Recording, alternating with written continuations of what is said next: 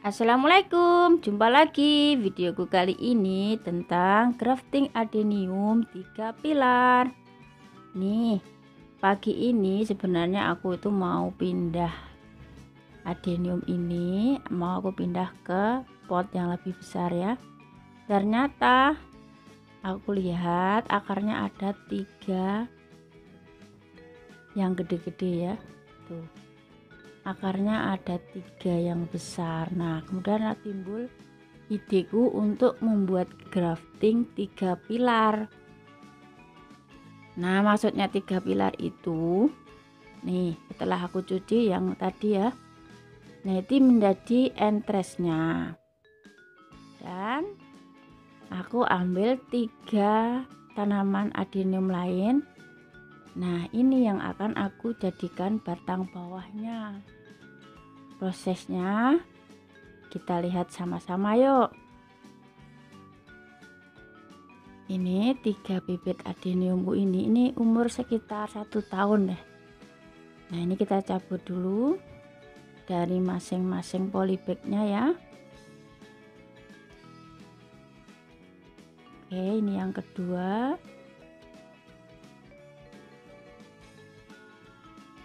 Lanjut yang ketiga ini dia. Nah tiga-tiganya ini akan aku tanam di satu polybag ya. Karena tiga-tiganya ini akan aku gunakan sebagai batang bawah.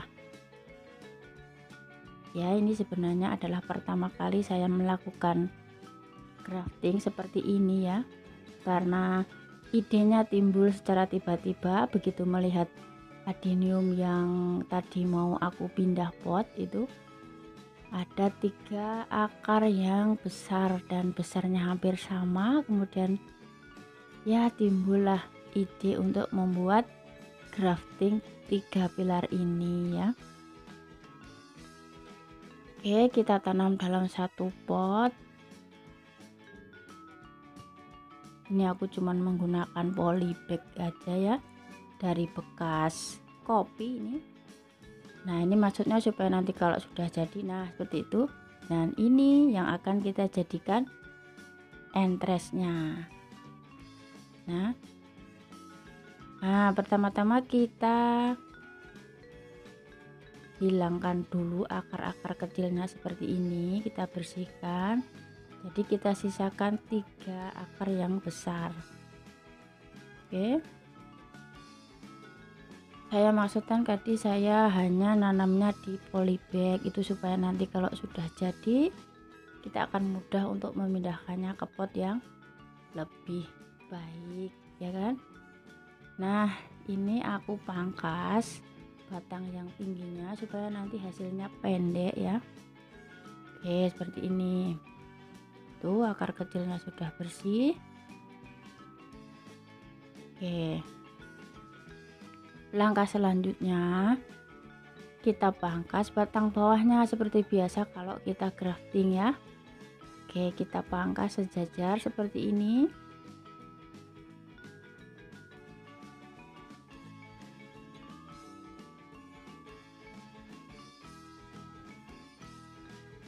Ya udah jadi seperti ini sebagai batang bawahnya. Nah ini sebagai entresnya kita pangkas juga akarnya ya.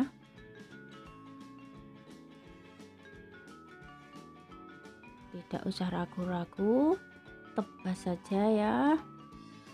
Nah usahakan hasil irisannya itu rata ya. Nah udah jadi kan ini langsung kita grafting ke tiga adenium kita tadi. Nah kita cari posisi yang pas ya. Kalau kurang pas kita geser-geser dikit tuh yang bawah tadi kan. Habis dipindah pot jadi lebih mudah waktu uh, menggeser-gesernya supaya pas ya. Kita lakukan dengan hati-hati. Permukaan sayatan kita usahakan benar-benar menyatu ya nyambung secara merata. Jadi itu kunci keberhasilannya. Nah ini aku gunakan lem G untuk menempelkannya ya.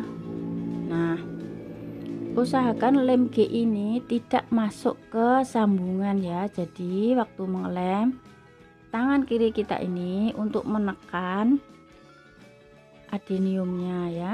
Ditekan ya cukup lumayan ya supaya uh, lemnya tidak masuk ke sambungan. Jadi yang di lem ini cukup bagian luarnya saja ya.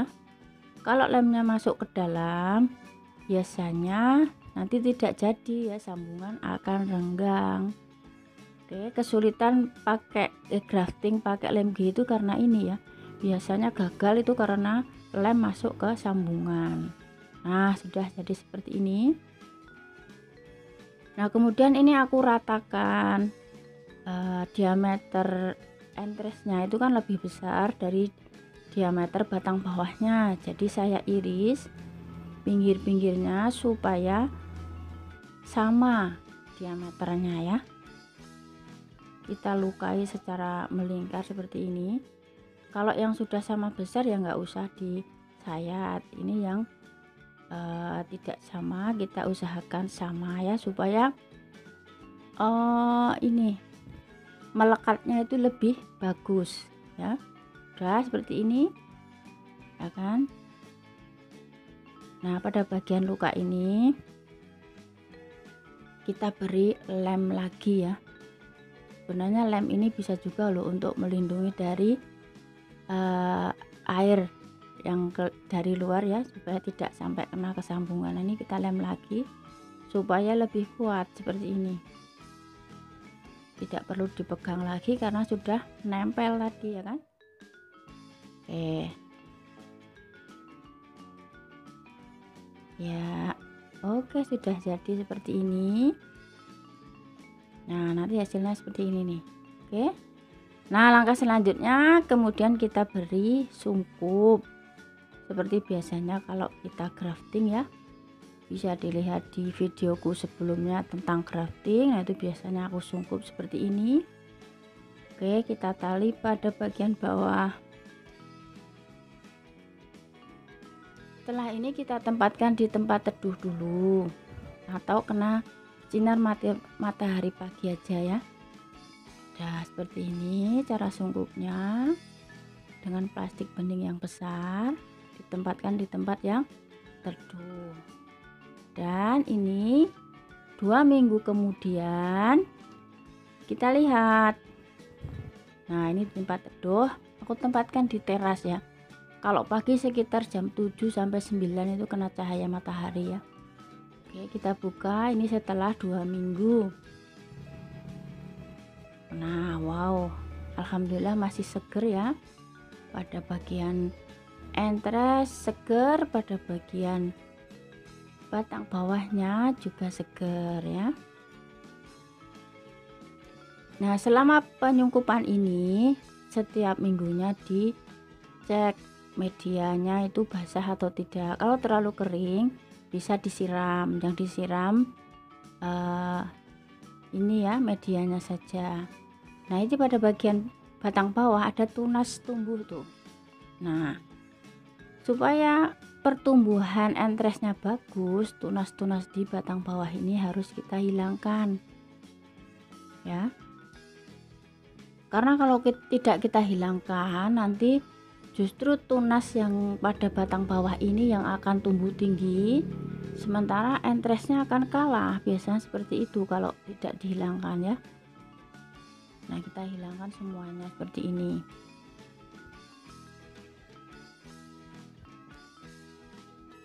oke. Biasanya di kolom komentar itu sering bertanya selama penyungkupan apa nggak perlu disiram tuh? Jadi kita lihat ya masing-masing tanaman kita. Kalau medianya masih lembab itu nggak perlu disiram. Tapi kalau kering ya harus disiram. Buka sedikit cungkupnya kemudian kita siram. Bisa nyiramnya pakai air biasa bisa pakai air cucian beras bisa ya. Tapi nyiramnya di medianya saja jangan sampai ke sambungannya oke. Ini mata tunas di bagian bawah sudah uh, kita hilangkan. Jadi nanti insya Allah pertumbuhannya akan ke atas fokus ke entresnya bukan ke tunas di bagian bawah sini. Oke setelah sini kemudian kita tutup lagi ya. Ini dua minggu ya. Kita sungkup lagi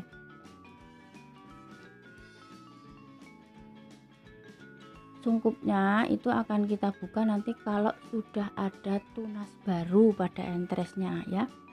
Ini dua minggu belum ada tunas baru. Nah ini dia nih. Setelah satu bulan kemudian nah ini kita buka lagi sungkupnya ya.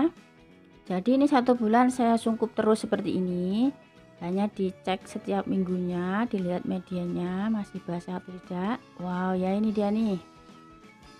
Satu bulan ternyata apa?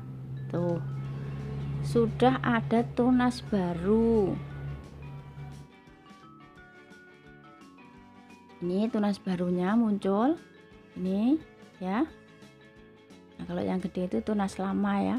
Nah, ini sambungannya juga masih menempel bagus Oke.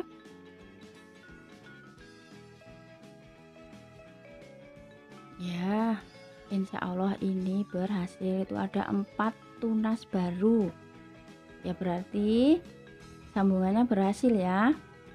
Oke, grafting itu akan terlihat keberhasilannya kalau entresnya tumbuh tunas baru ya tapi ini masih harus dalam perawatan karena masih uh, baru dibuka sungkupnya kan tetap diletakkan di tempat yang kena sinar matahari pagi aja. Nah ini dari atas nih. Ini dari tunas yang lama sudah ada dua daun baru tuh. Pucuknya nambah kan daunnya berarti sudah berhasil. Ya tunas lama tambah daun dan tambah tunas baru insya Allah akan berhasil nih walaupun cuma eksperimen pertama kali nih aku bikin seperti ini ya. Tapi ternyata bisa, ternyata adenium itu bisa kita buat berbagai macam grafting ya. Nah, semoga bermanfaat ya buat kalian semua. Aku akan update video ini dua atau tiga bulan ke depan bagaimana keadaan uh, graftinganku ini ya. Ini baru pertama kali aku lakukan dan semoga berhasil semoga bisa menginspirasi kalian ya.